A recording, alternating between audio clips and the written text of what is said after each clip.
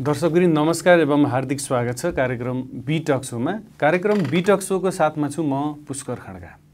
यो कार्यक्रम हरेक हप्ता ठिक यसै समयमा बी टेलिभिजन एचडिवा हेर्न सक्नुहुनेछ। दर्शक वृन्दहरू यति बेला विभिन्न राजनीतिक दलका अधिवेशनहरू चलिरहेका छन् र सो अधिवेशनमा सरकारी विद्यालयमा कार्यरत शिक्षकहरू कर्मचारी र केही ठाउँहरूमा प्रधानाध्यापकहरू समेत प्रतिनिधिको रूपमा सहभागिता जनाइराख्नु भएको छ।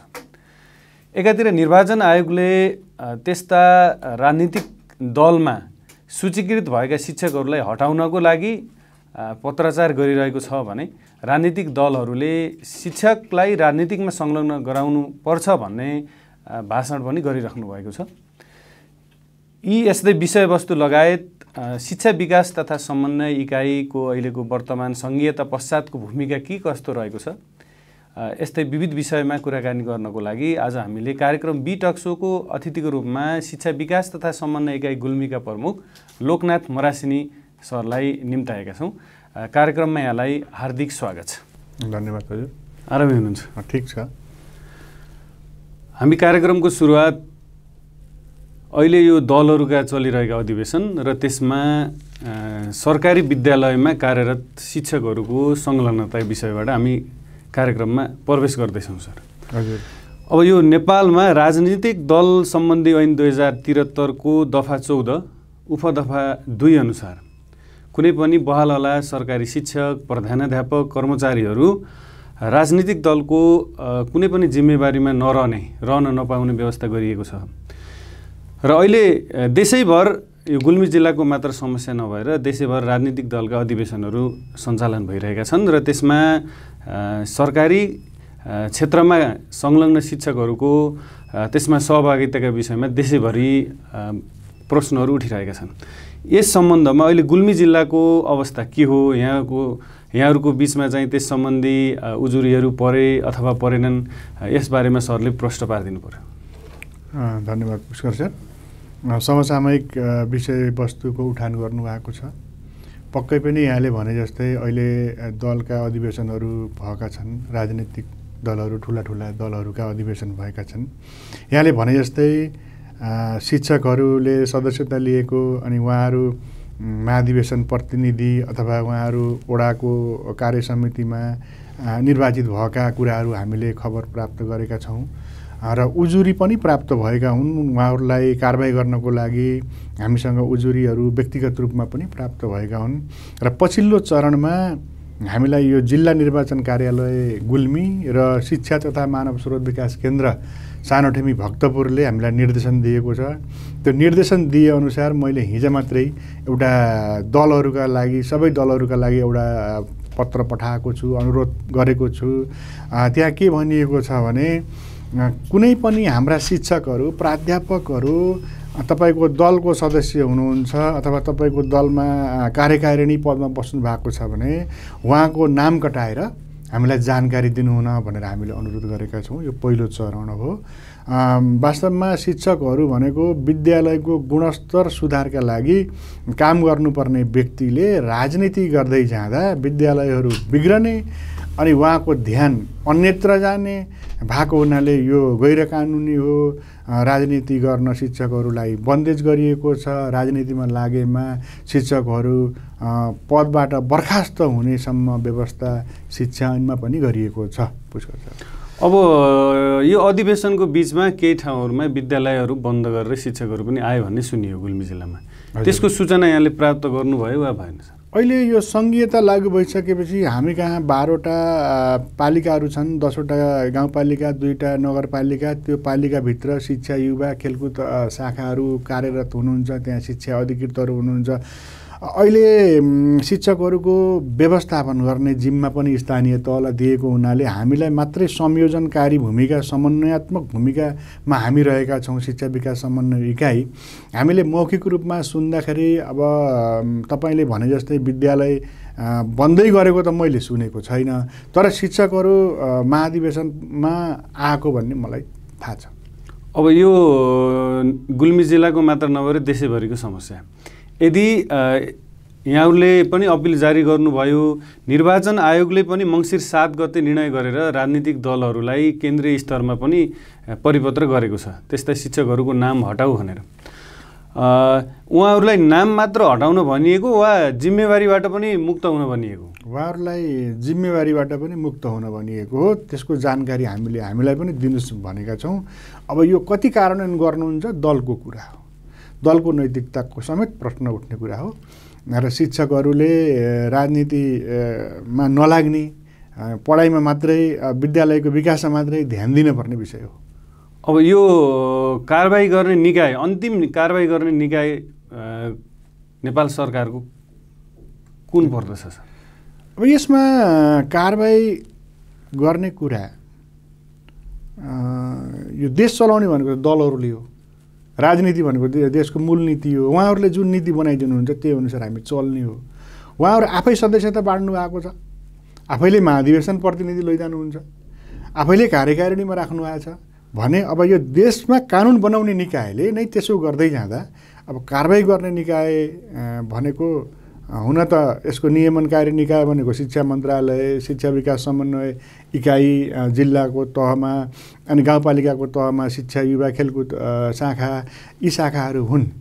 तर अब कारवाही गर्नको लागि हामीलाई ठोस प्रमाण चाहियो। दलले मेरो यो मान्छे यो पदमा बसेको छ त्यो तपाईँको शिक्षक हो कारवाही गर्नुहोस् भनेर त हामीलाई कुनै दलले भन्नेवाला छैन। हाम्रो गाह्रो विषय यही हो। त्यसका प्रमाणहरू त खोज्दै जाँदा त भेटेला नि सर।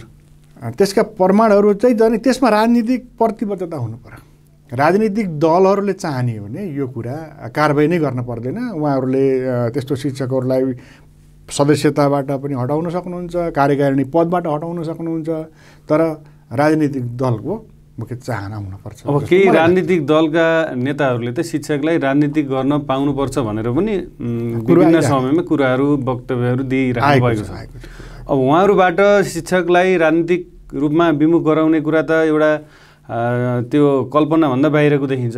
तर सरकारी निकायभित्र सरकारी निकाय शिक्षा मन्त्रालय यहाँले भने जस्तै समन्वय इकाइ र स्थानीय तहका शिक्षा शाखाहरू तिनीहरूले कारवाही गर्न दलहरूको एउटा दबाब सिर्जना भएको कारणले नसक्ने हो। अब यस्तो छ पुष्कर सर। देशमा शिक्षा ऐन आउने क्रम छ। आउने क्रममा छ शिक्षा ऐन सङ्घीयता लागू भइसकेपछि हामी कहाँ शिक्षा ऐन आएको छैन। अब यो एउटा विषयवस्तु उठान भएको छ शिक्षकले राजनीति गर्न पाउने कि नपाउने भन्ने कुरा त्यो ऐनमा स्पष्ट भएर आउनेछ भन्ने मैले आशा लिएको छु। किनभने यसभन्दा अगाडिको शिक्षा ऐनमा अलिकति स्पष्टीकरण दिएको कुराले अलिकति त्यहाँ हामीलाई दुविधा थपिएको थियो। के भनिएको थियो भने शिक्षक राजनीतिमा लागेमा पदबाट बर्खास्त हुनेछ त भनिएको थियो तर स्पष्टीकरणमा राजनीति भन्नाले कुनै पनि राजनैतिक दलको ओडा अथवा पालिका अथवा जिल्ला प्रदेश केन्द्र तहको कार्यकारिणी पदमा बसेकोलाई मानिनेछ भनेर त्यहाँ स्पष्टीकरण दिएको कारणले गर्दा हामीलाई पनि अलिकति अप्ठ्यारो भएको शिक्षकहरूले सामान्य सदस्यता लिन अनि यो महाधिवेशन प्रतिनिधिमा जान हामीलाई छेकावट छेकावट छैन भन्ने उहाँहरूले त्यसरी अर्थ लगाइरहेको र दलहरूले पनि त्यसरी नै बुझ्दै आएको त्यो स्पष्टीकरणले गर्दा हामीलाई गाह्रो भएको थियो। अस्ति भर्खर निर्वाचन आयोगले जुन निर्णय भएको छ त्यसलाई फेरि फरक खालको निर्णय गरिदिएको छ। अब शिक्षकहरूलाई हामीले कारवाही गर्ने भन्दा पनि उहाँहरूले आफै राजनीतिक दल छोडेर त्यागेर अनि आफ्नो विद्यालयतिर जानु पऱ्यो विद्यालयलाई कसरी राम्रो बनाउने त्यतापट्टि जान अहिले उपयुक्त देखिन्छ। अब चाहिँ किताब र कपी चापेर हिँड्नुपर्ने अवस्थामा राजनीतिक दलहरूका झन्डा चापेर हिँडिसकेपछि पक्कै पनि गुणस्तर वृद्धि हुने कुरै भएन। गुल्मी जिल्लाको सन्दर्भमा यो राजनीतिले समग्र शिक्षा क्षेत्रमा कस्तो असर पारेको यहाँको अनुभव छ सर? अब यो राजनीतिकका कुरा गर्दा पहिला पहिला मान्छेहरू गाउँमा राजनीति गर्ने मान्छेहरू थिएनन्। सबै कुरा गरिदिने शिक्षकहरू हुन्थे। त्यही ट्रेन अहिले चल्दै आएको अहिले त गाउँमा धेरै मानिसहरू उत्पादन भइसकेका छन्। राजनीति मात्रै पेसा गर्ने मानिसहरू पनि व्यक्तिहरू हुनुहुन्छ। उहाँहरूले गर्दाखेरि कस्तो भइदियो भने एकातिर अब शिक्षकले राजनीति गर्दा उहाँको अरूको राजनीति सिद्धिने अवस्था भएको हुनाले यो कुरा आएको यथार्थ कुरो अनि यथार्थ कुरो यो भएको हुनाले अब स्पष्ट रूपमा ऐन कानुनहरू आउला। कारवाही गर्ने भन्दा पनि उहाँहरूले छोड्ने अनि पढाइतिर लाग्ने शिक्षाको गुणस्तर विकासतिर लाग्ने कुरा नै राम्रो कुरा हुन्छ जस्तो मलाई लाग्छ। अब सङ्घीयता पश्चात शिक्षा सम्बन्धी धेरै अधिकारहरू स्थानीय तहलाई प्रत्यायोजन गरिएको छ। र सोही अनुरूप गाउँपालिकाहरू नगरपालिकाहरूमा शिक्षा शाखाहरू कार्यरत हुनुहुन्छ। अब यो अहिलेको सङ्घीयता पछिको शिक्षा विकास तथा समन्वय इकाइ जुन प्रत्येक जिल्लामा नेपाल सरकारले स्थापना गरेको छ यो कार्यालयको अहिलेको भूमिका सर के कस्तो रहेको छ? यो सङ्घीयता लागु भइसकेपछिको अवस्थामा यो पहिलाको जिल्ला शिक्षा कार्यालय जुन थियो त्यसको बदलिँदो स्वरूपका रूपमा केही सामान्य सानो रूपमा यो स्थापित भएको छ। अहिले खास गरिकन समन्वय गर्ने अप्ठ्यारो परेको यो सुरुवाती चरण छ। सङ्घीयता लागु भएको सुरुवाती चरण छ। गाउँपालिकामा शिक्षा शाखाहरू छन् उहाँहरूलाई कसरी जाने भन्ने कुरा स्पष्ट भा नभइसकेको अवस्था अनि त्यहाँ कर्मचारी व्यवस्थापन पनि पुरा नभएको अवस्थामा सहयोग गर्नका लागि मुख्य गरिकन यो शिक्षा विकास तथा समन्वय इकाइको स्थापना भएको अवस्था छ।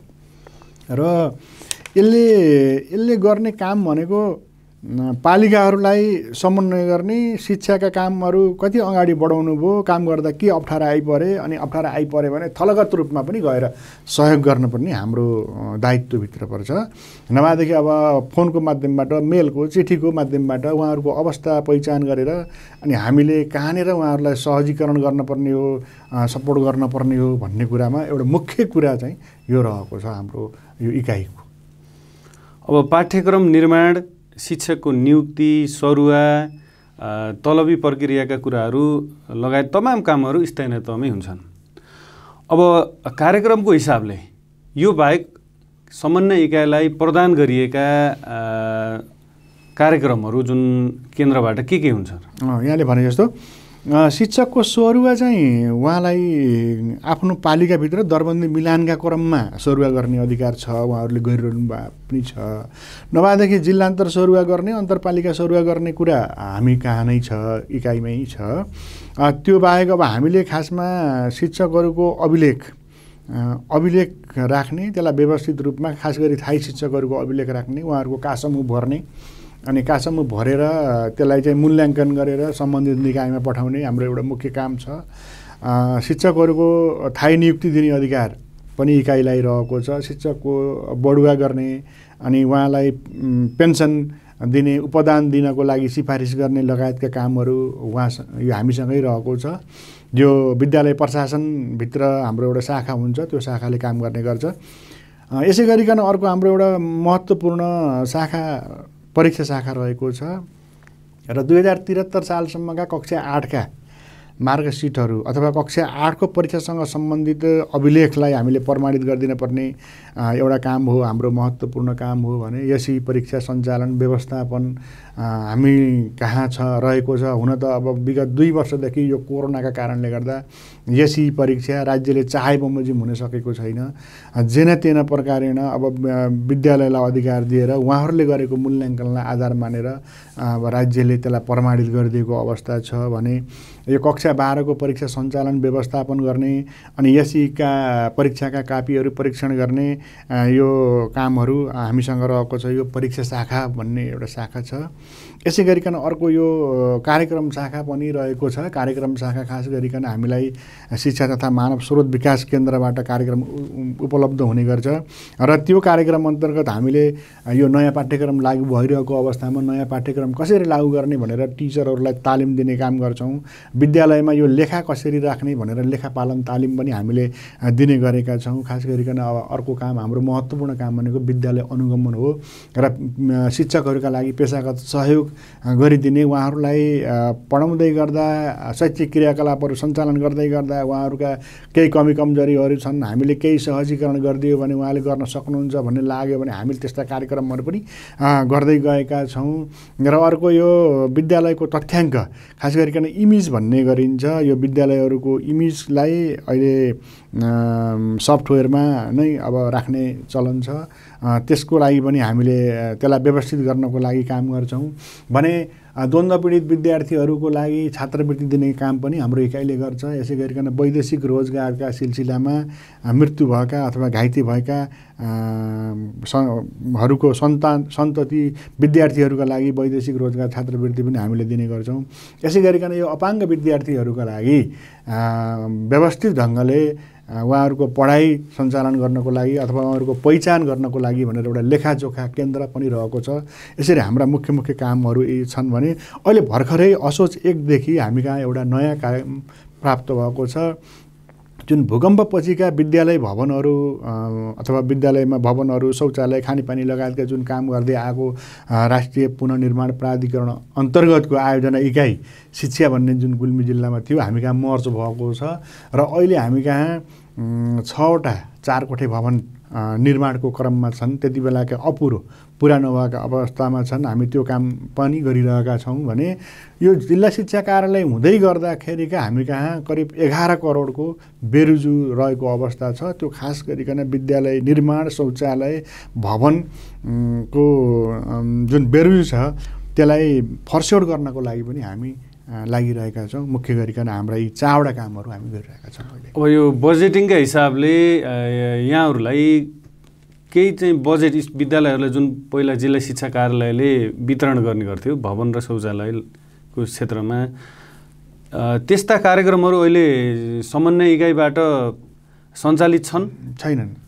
जुन पहिला यहाँले भने जस्तै शिक्षा कार्यालय हुँदाखेरि विद्यालयलाई भवन दिने शौचालय दिने अथवा अरू के काम हो त्यसको लागि आइसिटीको लागि पुस्तकालयको लागि जो हामीले दिने गर्थ्यौँ त्यो बजेट अहिले हामी कहाँ छैन। त्यो सबै बजेटहरू अहिले स्थानीय तहमा गएको छ भने अर्को एउटा कार्यक्रम राष्ट्रपति शैक्षिक सुधार कार्यक्रम भन्ने कार्यक्रम रहेको छ। त्यो कार्यक्रमले विद्यालयमा यी कार्यक्रमहरू तपाईँले भनेका कार्यक्रमहरू सम्बोधन गर्छ।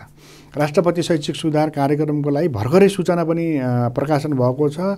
यसको पुसको दस गतेसम्म यसको म्याद रहेको छ। र जुन विद्यालयलाई भवन आवश्यक हो अथवा शौचालय आवश्यक हो खानेपानी आवश्यक हो अथवा विद्यालयमा पुस्तकालय अनि साइन्स ल्याब अथवा लाइब्रेरी जे आवश्यक हो उहाँहरूले प्रस्ताव तयार गरेर यो दस गतेसम्म यो पुसको दस गतेसम्म उहाँहरूले स्थानीय तहमा पेस गर्नुपर्ने हुन्छ र त्यो पेस गरिएका कुरालाई हामीले शिक्षा तथा मानव स्रोत विकास केन्द्रमा पठाउँछौँ र त्यहाँबाट कार्यक्रम वितरण हुन्छ र त्यो काम मलाई लाग्छ स्थानीय तहबाटै हुन्छ मार्फत हुन्छ। अब यो विद्यालय प्रशासनको क्षेत्रमा यहाँसँग लामो अनुभव छ। किन भन्दा योभन्दा अघि विद्यालय निरीक्षकको रूपमा पनि यहाँले लामो अनुभव सङ्घालिरहनु भएको छ। अहिलेको यो सङ्घीयता पछिको जुन स्थानीय तहको जुन जिम्मेवारी दियो स्थानीय तहलाई शिक्षाको क्षेत्रमा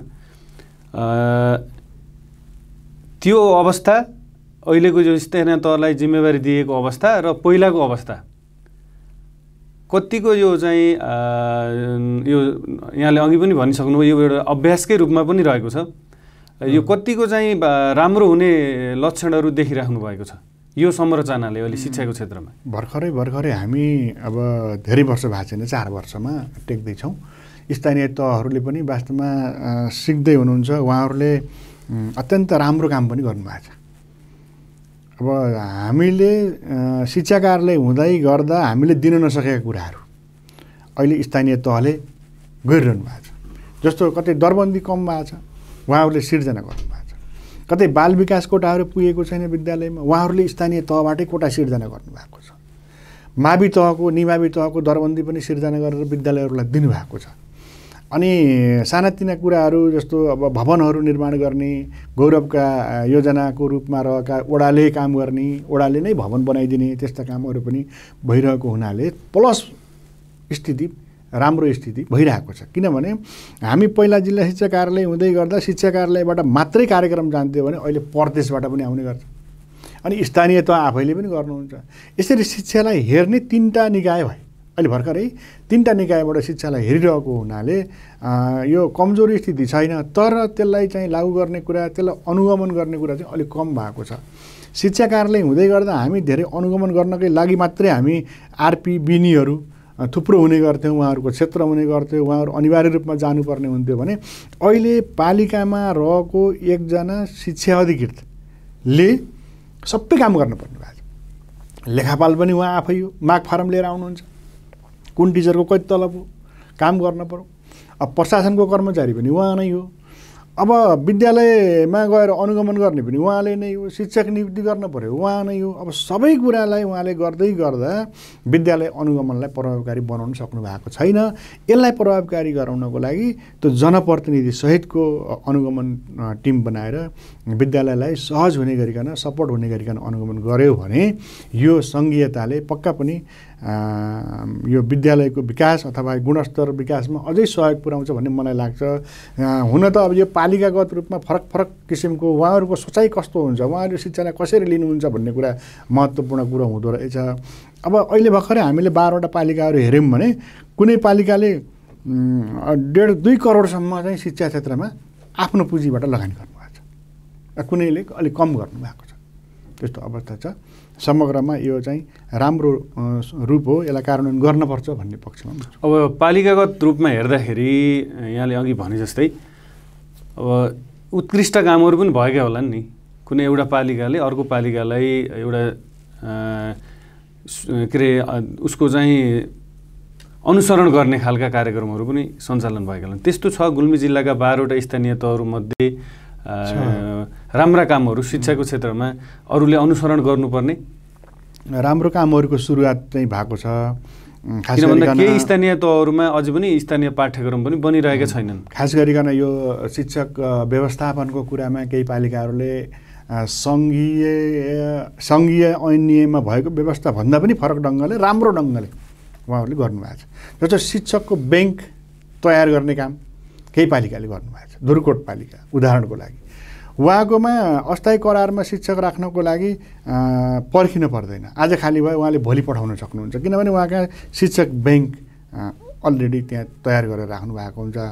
यो के हो भने यो सङ्घीयता लागु भइसकेको असल अभ्यास हो भन्ने मलाई लाग्छ। हुन त अब यसलाई शिक्षा ऐन नियमभन्दा बाहिर गएर अब व्यवस्थापन समितिको अधिकार चाहिँ पालिकाले लिएर यसरी टिचर ब्याङ्क बनाएको भन्ने कुरा आलोचना पनि भयो। तर आलोचना हुँदाहुँदै पनि शिक्षक व्यवस्थापनमा अलिकति सहज भएको मैले एउटा देखेको छु। भने यो पाठ्यक्रम स्थानीय पाठ्यक्रम लागू गर्नुपर्ने अर्को त्यो पालिकाहरूको कुरा हो। त्यसमा पनि केही पालिकाले अलरेडी स्थानीय पाठ्यक्रमहरू तयार गरेर प्रयोगमा पनि ल्याइसक्नु भएको छ। कोही बनाउने चरणमा हुनुहुन्छ हामी पनि त्यसलाई घचघचाइरहेका छौँ। खास गरी यो शिक्षा अधिकृतको बैठकमा हामीले यसलाई मुख्य एजेन्डा नै बनाएर हामीले के सपोर्ट गर्नुपर्छ भनेर हामी लागिरहेका छौँ। हिजो मात्रै हामी मुसिकोट नगरपालिकाको शिक्षा शाखाले आयोजना गरेको यो स्थानीय पाठ्यक्रम निर्माण समितिको मा गएर हामीले सहजीकरण गरेर आएका छौँ। यसरी स्थानीय तहहरू पनि आफ्नै ढङ्गले शैक्षिक सुधार गर्नका लागि लागिपरेको अवस्था छ। अब पहिला जिल्ला शिक्षा कार्यालय हुँदाखेरि शिक्षक चाहिँ अनुशासन बाहिर जाँदा उसले चाहिँ बदमासी गर्दा आफ्नो चाहिँ कार्यप्रति लगनशील नहुँदाखेरि एउटा जिल्ला शिक्षा अधिकारीले गर्ने एउटा कारवाहीबाट ऊ चाहिँ त्रसित हुने गर्थ्यो र उसलाई सोरुवा पनि गरिन्थ्यो र अन्य नैसियतहरू पनि प्रदान गरिन्थ्यो। तर अहिले यो पछिल्लो सङ्घीयता आइसकेपछि धेरैजसो अधिकारहरू जुन स्थानीय तहमा केन्द्रित भए त्यसपछि त्यस्ता बदमासी गर्ने शिक्षकहरू त राजनीतिक संरक्षणमा संरक्षणमा पनि त छन् भनिसकेपछि स्थानीय तहहरूले स्थानीय शिक्षा शाखाहरूलाई कतिको स्वायत्तता प्रदान गरेका छन्?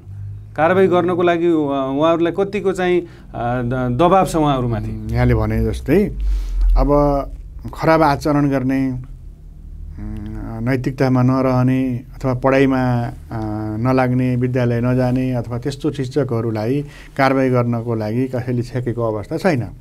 अहिले पनि स्थानीय तहले शिक्षा शाखाले उहाँलाई स्पष्टीकरण सोध्न सक्छ। स्पष्टीकरण सोधेर कारवाहीको दायरामा ल्याउन सक्छ। अनि उहाँ सक्नुहुन्न भने हामीलाई उहाँहरूले फरवार्ड गर्नुहुन्छ। जस्तो हाम्रो यो शिक्षकलाई हामीले कारवाही गर्न सकेनौँ अथवा के गर्ने हो भने हामी कहाँ आउनुहुन्छ हामी कारवाही गरिहाल्छौँ एउटा कुरा त्यस्तो छ भने थाई शिक्षकहरूको हकमा यो कार्य सम्पादन मूल्याङ्कन छ उहाँको कार्य सम्पादन मूल्याङ्कन घटाइदिन्छौँ। घटाएपछि उहाँको के हुन्छ भन्दा उहाँको बढुवा हुँदैन बढुवामा असर पर्छ। भने अब अस्थायी शिक्षकले त्यस्तो बदमासी गर्यो भने उसलाई निकाल्न सक्ने अधिकार पनि स्थानीय तहमै रहेको छ विद्यालयमा पनि रहेको छ। यो कारवाही गर्नको लागि कुनै सङ्घीयता लागू भएर कारवाही गर्नमा कुनै चाहिँ रोकावट आएको अवस्था मैले देखेको छैन। अब यो गुल्मीको समग्र शैक्षिक गुणस्तर वृद्धि गर्नको लागि शिक्षा विकास तथा समन्वय इकाइका वार्षिक कार्यक्रमहरू होलान्। यहाँहरूका यो मुख्य स्थानीय तहहरूसँग समन्वय गरेर अगाडि बढाउने खालका वार्षिक कार्यक्रमहरू के कस्ता अगाडि बढाउँदै हुनुहुन्छ? अब यो समन्वयात्मक भूमिकामा रहेको इकाइ हो हाम्रो यो अफिस कार्यालय भनौँ। हामीले खासमा कामै गर्न पाएनौँ यो कोरोनाका कारणले। हामी गति लिन त सकेनौँ। तर पनि हामी के अभियानका रूपमा लागिरहेका छौँ यो गुणस्तर सुधारका लागि भने ओडाका कुनै एउटा ओडाको उच्चतम स्कुलले आफ्नो क्याचमेन्ट एरियाभित्र रहेका सबै टिचरहरूलाई एकै ठाउँ जम्मा गर्ने र उहाँहरूका लागि हामीले गएर चाहिँ यो उत्प्रेरणा दिने खालको अनि उहाँलाई अरू के अप्ठ्यारा परेका छन् ती कुराहरूमा हामीले चाहिँ गोष्ठी एक दिने चलाउने गरिकन तयार गरिरहेका छौँ र हामीले दुई ठाउँमा त चलाइ पनि सक्यौँ। एउटा यो नयाँ गाउँ उच्च माविमा हामीले चलायौँ भने वाग्ला उच्च माविमा पनि हामी दुई दिन अगाडि यो कार्यक्रम सञ्चालन गरेका थियौँ। त्यति बेला अहिले हामी कति अपडेट छौँ शिक्षकहरू? जमाना धेरै परिवर्तन भएको छ। विद्यार्थीले तपाईँको मोबाइलबाट अथवा नेटबाट भनौँ प्रशस्त सिक्न सक्ने अवस्था आएको छ। अहिले शिक्षक नहुँदा पनि विद्यार्थी आफैले सिक्न सक्ने अवस्था भएको हुनाले अब त्यो शिक्षक कस्तो हुनु पऱ्यो त भन्दाखेरि समय अनुकूलको हुनु पऱ्यो समय सान्दर्भिक अब उसले नेट चलाउन जान्ने नेटबाट इन्टरनेटबाट खोजी नीति गरेर अहिले नयाँ आयामहरू शिक्षामा के आएका छन् विद्यार्थीको चाहना रुचि के छ त्यो अनुसारले अगाडि बढ्नको लागि शिक्षकहरूलाई हामीले प्रेरणा दिँदै एउटा यो एक दिने अन्तर्क्रियात्मक गोष्ठी सञ्चालन गर्दै आएका छौँ। हामीसँग चार पाँच ठाउँबाट यो गरिदिनु पऱ्यो भन्ने हामीलाई माग भइरहेको छ। अनि हामीले एउटा यहाँबाट जिल्लाबाट प्रशिक्षकहरू लगेर उहाँहरूले भने बमोजिम एक दिन चाहिँ यो चलाउने गर्छौँ। यो साझेदारी कार्यक्रम भनेर मैले भन्ने गरेको छु। हामीले जिल्लाको प्रशिक्षकहरूको खर्च हामी गर्छौँ। भने विद्यालयले जसले कार्यक्रम आयोजना गर्नुहुन्छ त्यो विद्यालयले चाहिँ त्यहाँको व्यवस्थापन गर्ने जिम्मा उहाँको यसरी विद्यालयको र हाम्रो साझेदारी कार्यक्रममा एउटा शैक्षिक गुणस्तर विधारका सुधारका लागि हामी अगाडि बढिरहेको अवस्था एउटा छ। यो जिल्लाभरि नै यो- गर्नुहुन्छ मागको आधार मागको आधारमा गर्छौँ। हामीले यसलाई के गरेका छौँ भने हाम्रा लागि होइन कि उहाँले आवश्यक ठान्नुभयो भने हामी जान्छौँ। आवश्यक नठान्दा नठान्दै पनि हामी गयौँ भने त्यसको प्रभावकारिता हुन्न भन्ने ठानेर हामीले यो प्रचार चाहिँ गरेका छौँ। हाम्रो कार्यक्रम यस्तो छ तपाईँलाई आवश्यक छ भने भन्नुहोस्। हामी जान्छौँ आउँछौँ भनेर हामीले यसरी भन्ने गरेका छौँ। एउटा यो मुख्य काम हो एउटा हो। हामीले गर्न खोजेको। अब त्यो बाहेकको यो स्थानीय पाठ्यक्रम निर्माणका लागि सपोर्ट गर्ने कुरा पनि छ हामी गरिरहेका छौँ। भने अस्ति भर्खरै हामी एक हप्ता अगाडि जति हामी जिल्ला बैठक पनि सञ्चालन गऱ्यौँ। यो चार वर्ष जति भएको थियो जिल्लामा प्र बैठकै गर्न नपाएको अवस्था थियो। माध्यमिक तहका सबै हेड टिचरहरूलाई बोलाएर हामीले एउटा जिल्ला बैठक आयोजना गऱ्यौँ र त्यहाँ एउटा संस्थाले हामीलाई सहयोग गरेको थियो। माई सेकेन्ड टिचर भन्ने एउटा नाम गरेको संस्था थियो। त्यसले के गरेको रहेछ भने अहिले भर्खरै कक्षा दसको चार पाँचवटा विषयमा उसले विषयवस्तुहरू बनाएर त्यो विषयवस्तुहरूलाई लिएर भिडियो बनाएको रहेछ। जस्तै विज्ञानको कक्षासँग सम्बन्धित उसले भिडियो तयार गरेको छ। त्यहाँ टिचर नहुँदा पनि भिडियो हेरेर त्यही भिडियो हेरेर विद्यार्थीले सिक्न सक्ने अवस्था। यस्तो यस्तो कुरा उहाँहरूको रहेछ। उहाँहरूले आफ्नो कुरा पनि राख्नुभयो र शिक्षक साथीहरू पनि त्यसबाट अत्यन्तै प्रभावित हुनुभएको छ। अनि हामीले त्यो जिल्ला बैठक पनि गऱ्यौँ। अस्ति भर्खरै फेरि यो दिवा खाजा जुन गुल्मी जिल्लामा लागू भएको छ जिरोदेखि अथवा शिशुदेखि कक्षा पाँचसम्मको विद्यार्थीहरूका लागि त्यो कसरी सञ्चालन गर्ने भन्ने कुरालाई लिएर हामीले शिक्षा तथा मानव स्रोत विकास केन्द्रबाट प्रशिक्षकहरू आउनुभएको थियो। उहाँहरूले पनि यहाँ टट सञ्चालन गरेर जानुभएको छ। अब यसलाई विद्यालय तहसम्म चाहिँ पुर्याउने भन्ने हाम्रो तयारी छ। हाम्रा मुख्य मुख्य कार्यक्रमहरू यिनै हुन्। अब पछिल्लो दुई वर्षदेखि जुन कोरोना महामारीकोले शिक्षा क्षेत्रमा अत्यन्तै ठुलो असर पुऱ्याएको छ। गुल्मी जिल्लामा पनि विद्यार्थीहरूमा यसको नकारात्मक असर देखियो र यसले समग्र शैक्षिक गुणस्तरलाई कता कता पछाडि धकेल्ने हो कि भन्ने चिन्ता पनि लागिरहेको छ। हजुर। यहाँहरूको अनुभवमा यो कोरोनाको प्रभावले विद्यार्थी र शैक्षिक संस्थाहरूमा कसरी के कस्तो क्षति पुग्यो र त्यसलाई उकास्नको लागि विद्यालय र विद्यार्थीहरू र यहाँहरूको समन्वयमा के कस्ता कार्यक्रमहरू अगाडि बढ्दाखेरि पुरानै अवस्थामा हामीले पुर्याउन सकिएला? पक्का पनि पुष्कर सरले भने जस्तै यो दुई वर्षसम्म हाम्रा विद्यालयहरू विद्यालयका क्रियाकलापहरूमा अ, रुकावट आयो। दुई पटकको हामी यसरी गर्न सकेनौँ। अनि बिचमा राम्रोसँग कक्षाहरू पनि सञ्चालन गर्न सकेनौँ। त्यसले गर्दा अहिले हामीलाई यो अझ खास गरिकन यो एसी जुन ढङ्गले हामी पहिला सञ्चालन गर्थ्यौँ त्यो ढङ्गले हामीले नगरेको कारणले अब परीक्षा केन्द्रहरू बनाएर एसी सञ्चालन गर्ने परीक्षण केन्द्रमा उत्तर पुस्तिका जाँचेर उनीहरूको विद्यार्थीको जुन अवस्था हामीले पत्ता लगाउने गर्थ्यौँ पहिला अहिले त्यो हामी पत्ता लगाउन सकेका छैनौँ। हाम्रो दुई वर्षमा मलाई लाग्छ यो शैक्षिक गुणस्तर बढेको छ कि घटेको छ कि भनेर हामीलाई जुन एसी परीक्षाले हामीलाई दिने गर्थ्यो त्यो हामीले पत्ता लगाउन नसकेको हुनाले अप्ठ्यारो अवस्थामा हामी छौँ र मलाई लाग्छ गुणस्तर घटेको पनि हुनसक्छ। किनभने त्यो ढङ्गले हामीले क्रियाकलापहरू गरेका छैनौँ तर त्यसो भन्दै गर्दा हामी गुल्मी जिल्लामा केही नगरी बसेको चाहिँ होइन। हामीले खास गरिकन यो सियुजी सेवा को माध्यमबाट अनलाइन अनलाइन पढाइको माध्यमबाट कक्षाहरू सञ्चालन गरिरहेको पनि हो। जो कोरोनाको बेलामा विद्यालय जति बेला बन्द थिए त्यो बन्द रहेको बेलामा पनि हामीले धेरै निगरानी गरेर अनि पालिकाहरू मार्फत यो विद्यालयहरू सञ्चालन गर्न सियुजी प्रयोग गर्न अथवा अनलाइनबाट कक्षाहरू सञ्चालन गर्न अब त्यसरी पनि सम्भव नहुने विद्यार्थीहरूका लागि होमवर्क दिने अनि अर्को दिन होमवर्क बुझाउन आउने अनि फेरि अर्को होमवर्क दिने त्यसरी पनि हामीले यो केही न केही रूपमा गतिशीलता ल्याउन खोजेको हो अनि एउटा टोलको विद्यार्थीहरूलाई एकै ठाउँ राखेर टोल शिक्षा पनि हामीले सञ्चालन गऱ्यौँ किनभने हाम्रो मान्यता थियो। अर्को टोलको विद्यार्थीहरू मिक्स हुँदा कोरोनाको प्रभाव हुनसक्छ भनेर हामीले एउटा टोलको विद्यार्थीलाई अनि एकै ठाउँ राखेर कक्षा कोठामा पनि हामीले कक्षा सञ्चालन गर्न सक्यौँ त्यसरी गऱ्यौँ। र केही न केही रूपमा हाम्रो विद्यालयहरू स्थानीय तहहरू अत्यन्तै सक्रिय हुनुभएको छ। खास गरिकन विद्यालयहरूले पनि कुनै न कुनै रूपमा यसलाई पढाइलाई निरन्तरता दिनपर्छ भन्ने मानसिकतामा उहाँहरू प्रहहरू हुनुहुन्छ। त्यसले गर्दा हाम्रा पढाइहरू अगाडि बढिरहेको अवस्था चाहिँ छ। अब यो कोरोनाको कारणले सिर्जित भएको अवस्थामा विद्यार्थीहरूको मूल्याङ्कन त राम्रोसँग हुन सकिरहेको छैन। तैपनि यो समग्र राष्ट्रिय स्तरमा गुल्मी जिल्लाले प्राप्त गर्ने जुन शैक्षिक नतिजा छ कक्षा एसी र कक्षा बाह्रको जुन मूल्याङ्कन गरिन्छ यो कस्तो छ सर?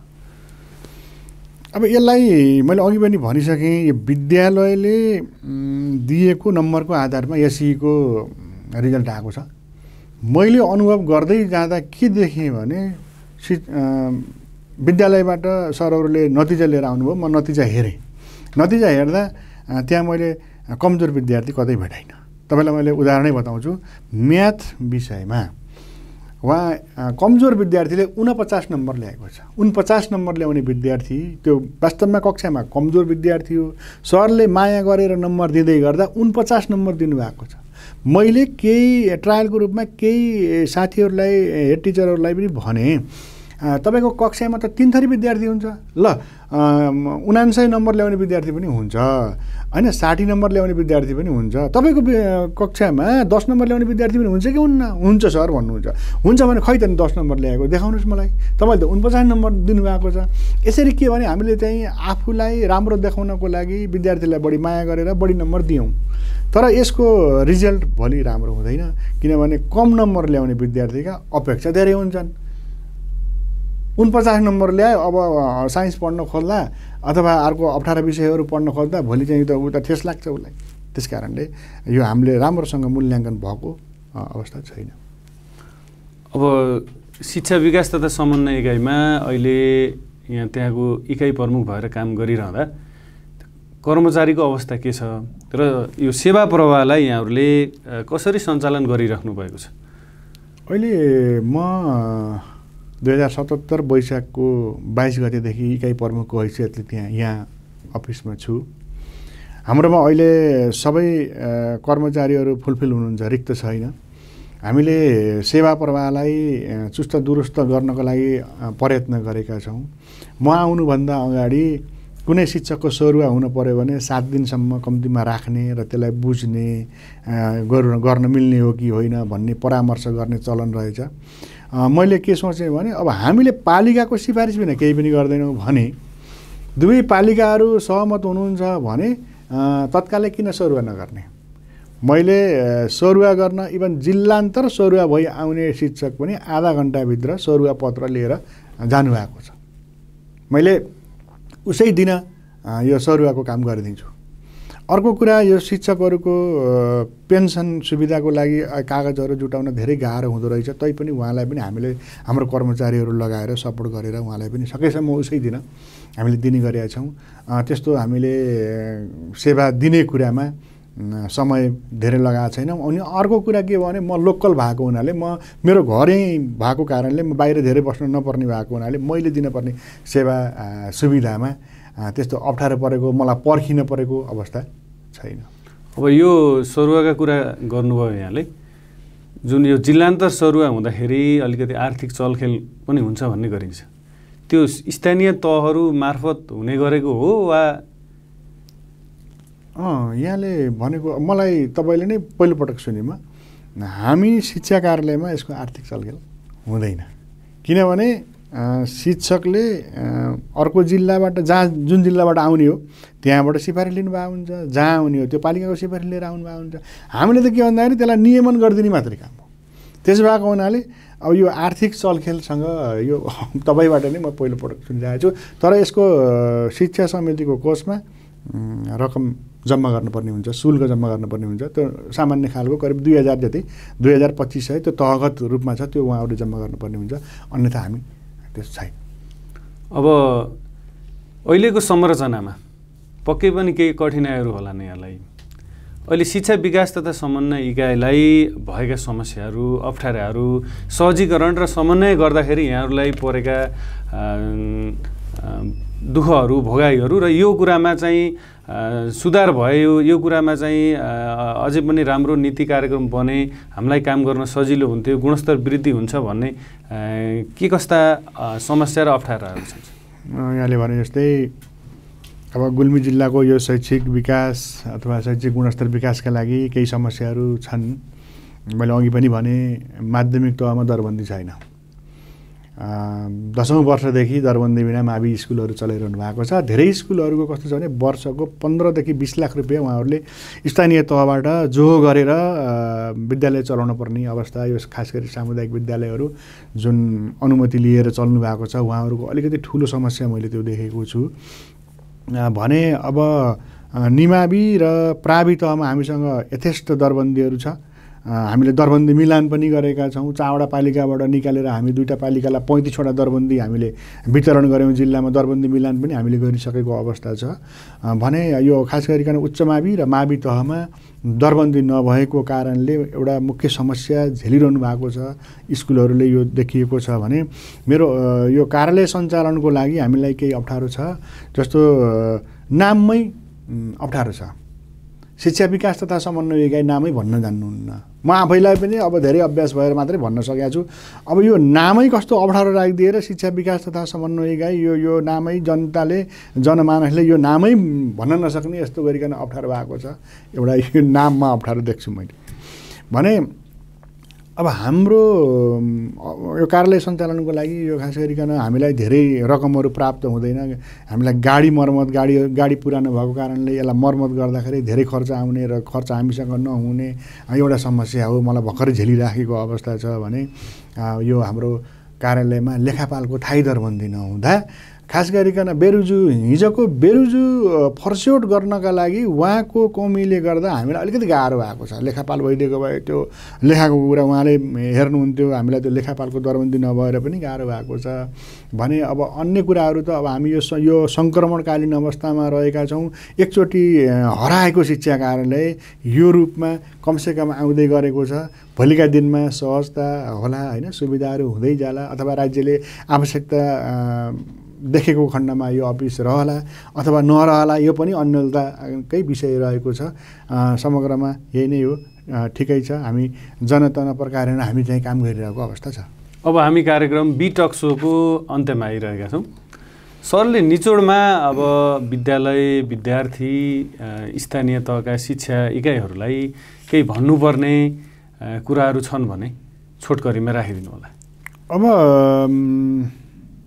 यहाँले भने जस्तै म हामी भन्छौँ नि विद्यालय कस्तो हुनु पऱ्यो त भन्दा विद्यालय जानलाई विद्यार्थी खुसी हुनु पऱ्यो विद्यालयमा कतिखेर पुगौँ त्यहीँ बसिरहँ त्यहीँ विद्यालयमा पढिरहँ घर जान नपरोस्।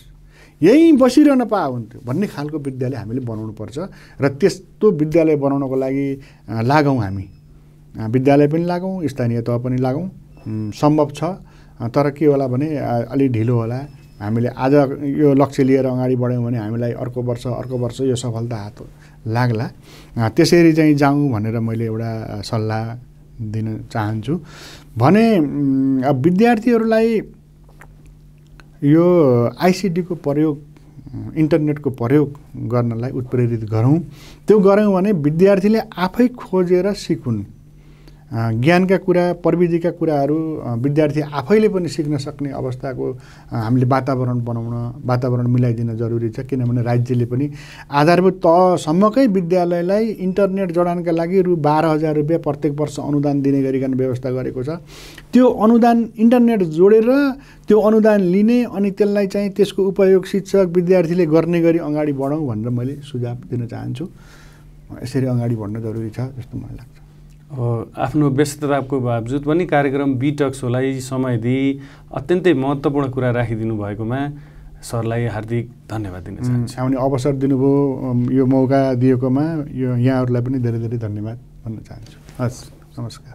दर्शक महानुभावहरू आजको अतिथि शिक्षा विकास तथा समन्वय इकाइ गुल्मीका प्रमुख लोकनाथ मरासिनीसँग गरिएको कुराकानी यहाँलाई कस्तो लाग्यो? सुझाव सल्लाह र प्रतिक्रियाको लागि बी टेलिभिजन एचडीमा सम्पर्क राख्नुहोला। अर्को हप्ता यस्तै विविध विषयमा कुराकानी गर्नको लागि अन्य अतिथिको साथमा उपस्थित हुनेछौँ। त्यतिन्जेलसम्मको लागि म कार्यक्रम सञ्चालक पुष्कर खड्का पनि बिदा हुन चाहन्छु। हस्त नमस्कार।